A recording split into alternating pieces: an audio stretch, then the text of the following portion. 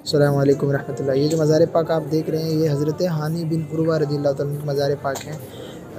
आपने जो है कोफ़ा में हज़रत मुस्लिम बिन अकील रदी अल्लाह तु को अपने घर में बना दिया था, उनको बुलाया था उसके बाद यजीद ने आपको जो है बुलाकर बहुत सताया, बहुत परेशान किया।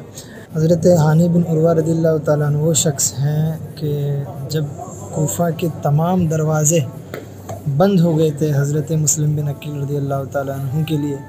तो आपका दरवाज़ा खुला था। यही एक ऐसे वाही शख्स थे जो एकदम निडर थे। और माशाल्लाह, आपने जो है इमाम मुस्लिम बिन अकील रदी अल्लाह तु को और उनके दोनों शहज़ादों को अपने घर में जगह दी थी और ये काफ़ी दिन तक आपके घर में रहे थे। उसके बाद जब यजीद तक बात पहुँची तो इन्हें बहुत परेशान किया, बहुत सताया। यजीद पर बेशुमार लानत हो। जहाँ हुसैन